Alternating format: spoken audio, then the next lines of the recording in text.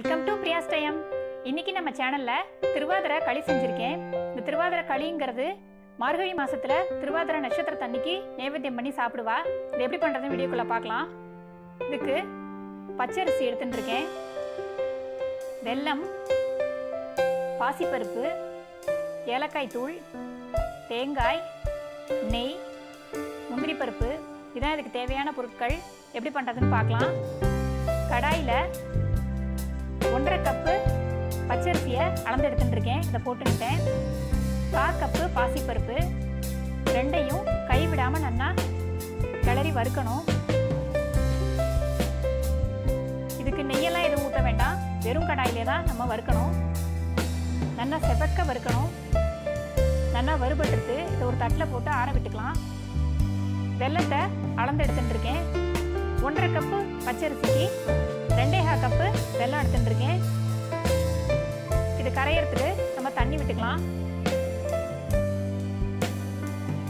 நீங்கள் உங்களோட ஸ்வீட்டுக்கு ஏற்ற மாதிரி அளவை கூட்டி குறைச்சிக்கோங்க. இந்த திருவாதிரை களியோட எப்பயுமே ஏழுக்காய் கூட்டு ஒன்று பண்ணுவா. அதை அடுத்த வீடியோவில் போட்டுடுறேன் எல்லாம் நல்லா ஆறிடுத்து இதை நம்ம குறகுறப்பாக அரைச்சிட்டு வந்துக்கலாம். குறகுறப்பாக அரைச்சா உதிரி உதிரியாக வரும் களி. நைஸாகவும் அரைக்கலாம். அது களிப்பதத்துக்கே இருக்கும்.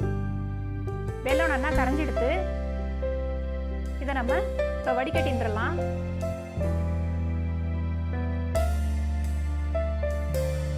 வெள்ளத்தில் குச்சி மண் ஏதாவது இருந்தாலும் வடிகட்டிட்டா ரொம்ப நீட்டாக இருக்கும்.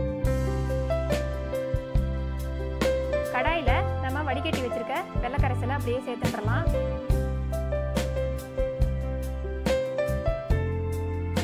கப்பு பச்சரிசிக்கு நாலரை கப்பு தண்ணி அளந்து எடுத்துட்டுருக்கேன். அந்த அளந்து வச்சிருக்க தண்ணியையும் இதோட சேர்த்துட்டுறலாம்.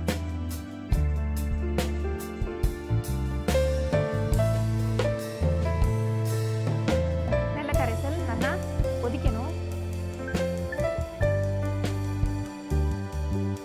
கொதிச்செடுத்து இப்போ இதில் கால் கப்பு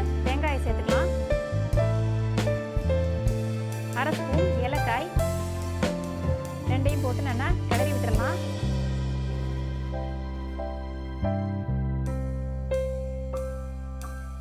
இப்போ நம்ம அரைச்சி வச்சுருக்க அரிசி பருப்பையும் இதோட கொஞ்சம் கொஞ்சமாக சேர்த்து நல்லா கிளறணும். இது ஆருத்ரா தரிசனம்னு சொல்லுவா. இந்த ஆருத்ரா தரிசனம்ங்கிறது சிவன் கோயிலெல்லாம் ரொம்ப விசேஷமாக இருக்கும். முத நாள் ராத்திரியே போய் தங்கி நடராஜரோட ஆனந்த தாண்டவத்தை வெளியே கடையில் பார்ப்பா என்னென்னா கலரி கிளறி விட்டாச்சு. இப்போ இதை ஒரு குக்கரில் நம்ம வேக வச்சு எடுத்துக்கணும். தண்ணி கொதிச்செடுத்து இதை ஒரு பாத்திரத்தில் மாற்றின்ட்டேன் அதை நம்ம அப்படியே இதில் இறக்கிடுறேன். குக்கரில் மூடி போட்டு இது ஸ்டீம் வந்துடுத்து வெயிட் போட்டுக்கிறேன். ரெண்டு விசில் போட்டா போகிறோம் ஸ்டீம் போயிடுத்து ஓப்பன் பண்ணி பார்க்கலாம். என்னன்னா வெந்தெடுத்து.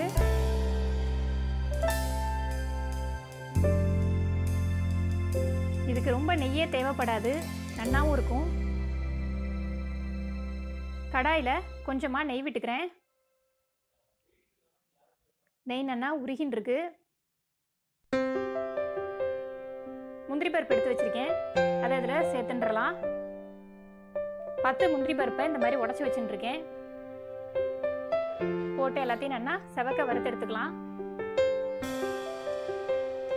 இதை இந்த திருவாதிரை களி மேலே அப்படியே சேர்த்துக்க வேண்டியதான் இதை விடிய காலையில் சாமிக்கு நைவேத்தியம் பண்ணிட்டு பரிமாற வேண்டியதான் சூப்பரான திருவாதிரை களி தயார். தேங்க்யூ ஃப்ரெண்ட்ஸ் வேறு வீடியோவில் நம்ம பார்க்கலாம். பிரியா சேனலை சப்ஸ்கிரைப் பண்ணாதவளாக இருந்தால் சப்ஸ்கிரைப் பண்ணிவிடுவோம்